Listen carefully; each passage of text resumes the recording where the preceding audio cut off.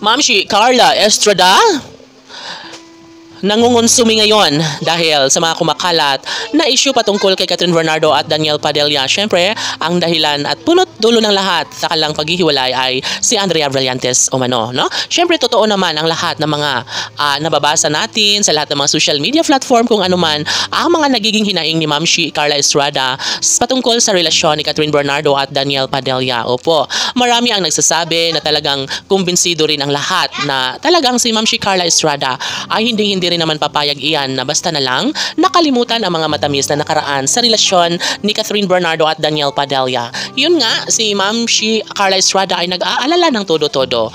Of course, hindi niya ito matatanggap dahil nga ayaw niya na mabulilyaso rin umano itong si Catherine Bernardo sa kanyang pangarap na pagbuungan ng sariling pamilya sa anak ni Ma'am si Carla Estrada na si Daniel Padilla. No magulo man minsan ang kalang pagmamahalan, hindi lang minsan kundi lagi na lang na nasasaktan si Queen Cat dahil nga noon pa man ay ginagawa na rin ni Daniel Padilla ang mga bagay na nakakasama ng loob sa aktres na siyang pinakainaayawan ni Ma'am Shi Carla Estrada. Opo, hindi na magdidinay pa si Ma'am Shi Carla Estrada dahil alam niya ang karakas ng kanyang anak na si Daniel Padilla na kapag mayroong babaeng kanyang nagustuhan ay kanyang um, maghakbang, hahakbangan niya na para mapalapit muli sa kanya. Ngunit ito lamang ang masasabi ni Ma'am Shi Carla Estrada kay Daniel Padilla na gusto niyang iparating sa taong bayan na talagang suwabe rin naman kung magmahal si Daniel Padilla. Ngunit sadyang ganun talaga ang buhay.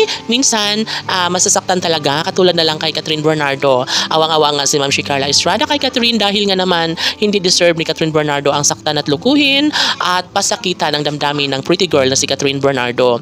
OMG! Siyempre, ang lahat ng ito ay kagagawan at punot dulo ay si Andrea Brillantes na siyang nagbibigay kaguluhan sa relasyon ng may relasyon.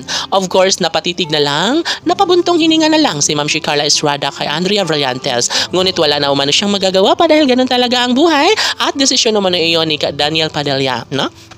Kung nais ni Daniel na magiging masaya sa piling ni Catherine Bernardo ay dapat na hindi siya gumawa ng mga kalukuhan. Dapat na mag-focus na lang umano siya kung ano man ang mas makakabuti sa kanyang pag-ibig. Kay Catherine Bernardo dapat umano na mabuo na ang kalang pangarap na pag, uh, pagbuo ng sariling pamilya. Unang-una ang kalang pagpapakasal syempre. Lahat ay nag-aabang lamang sa tunay na kaganapan sa pagmamahala ni Catherine at Daniel. At isa na nga rito si Ma'am Carla Estrada na talagang nag-aabang at nangangarap na sana nga ay magkaroon na siya ng apo kay Catherine Bernardo at Daniel Padilla. Ito ito ang matagal na niyang pangarap na sana ay mabigyan niya ng katuparan ng lahat. At uh, ngayon ay naging magulo ang relasyon ni Catherine at Daniel ay wala nang aasahan pa umano si Carla Estrada. Sabi nga ni Carla Estrada na masakit para sa kanyang puso at damdamin ang mga pangyayari sa pagmamahala ni Daniel at Catherine uh, dahil lang sa pag, uh, pagpasok uh, sa relasyon ni Andrea Brillantes Laban.